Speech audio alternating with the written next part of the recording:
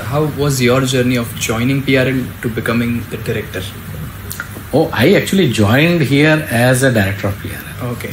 As I mentioned to you earlier, that uh, I was uh, working at uh, Vikram Sarabhai Space Center.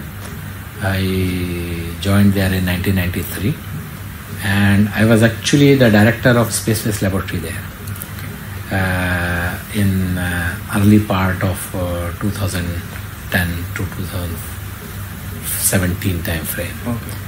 And uh, so I was leading the special laboratory from 2014 to 2017 before moving to PRL in 2017. So I have been here now for uh, about eight years, Great. uh, leading as uh, this institute, this great institute established by Dr. Sarabhai. So it's actually a wonderful feeling Yes. to lead an institute which is established by Dr. Sarabhai. Any initiatives we would like to mention that you're proud of right now about PRL? Initiatives of PRL.